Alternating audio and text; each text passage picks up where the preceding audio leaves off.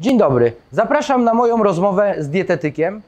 Dowiecie się Państwo na tej rozmowie, jak łączyć składniki pokarmowe, jak bilansować dietę, jak unikać chorób cywilizacyjnych poprzez konsumpcję zdrowych produktów spożywczych, a wszystko to na stronie ważnadieta.pl.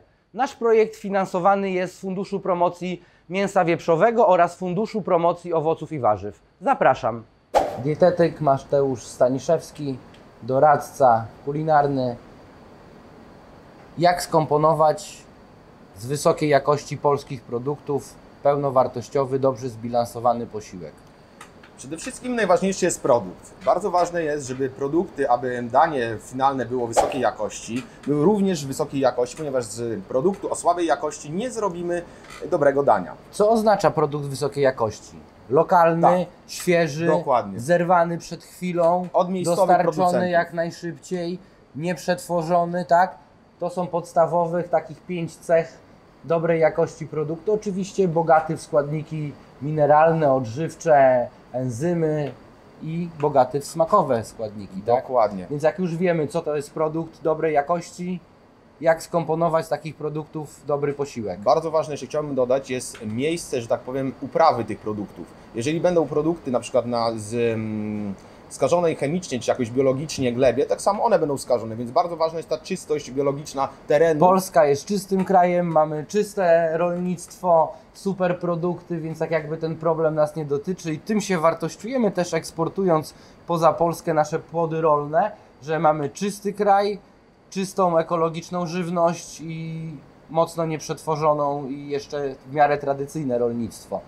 Jak z tych produktów już jak od super rolnika, co dalej z tym zrobić? Przede wszystkim. Nie przetwarzać chyba. Tak, jak najmniej przetwarzać, żeby jak najwięcej były, że tak powiem, te mm, warzywa, owoce jak najbardziej świeże, żeby też, jeżeli już poddajemy jakiejś obróbce termicznej, żeby ta obróbka termiczna była możliwie jak najkrótsza, żeby jak najmniej tych witamin, minerałów, cennych składników odżywczych stracić po prostu w czasie tej obróbki.